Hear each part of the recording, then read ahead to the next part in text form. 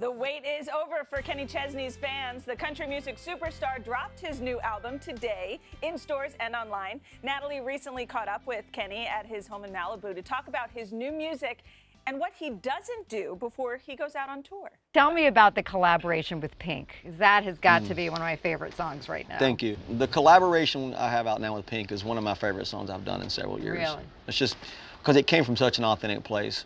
I knew it would work because I've sang yeah. harmony to her records for a long time, you know, in the car. Chesney says his new album, Cosmic Hallelujah, is about trying to cut out the distractions that pull us away from one another. On tracks like Noise and Rich and Miserable, Chesney sings about living in the moment.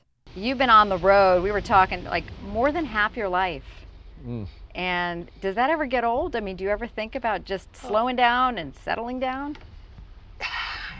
I have been a big dreamer and I have been very hyper focused on my career and I've been climbing a certain ladder almost my whole adult life. I guess the lesson in that is just to, to enjoy the journey, enjoy the climb. His very first attempt at music, though, wasn't exactly a success. Is it true you wrote your first song to get a girl? Yes. Did it work? No.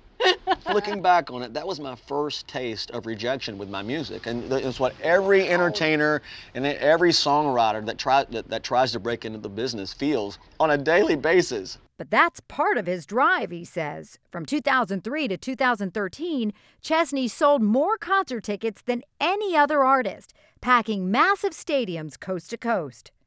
That that energy hits my back and I get the energy from the crowd, I just cannot sit still. So to do that, I have to be in shape. I do treat what I do out there on stage and what in my career a lot like an athlete trains. When he's gearing up for a tour, that means no beers, no bread, no off days, doing workouts that include stand up paddleboarding, which I had to try for myself. How many sharks have you seen out here? Oh, just about seven or eight. Plowing like that. Keep, keep this, keep your arm straight that's on the top. I can do this. Turn.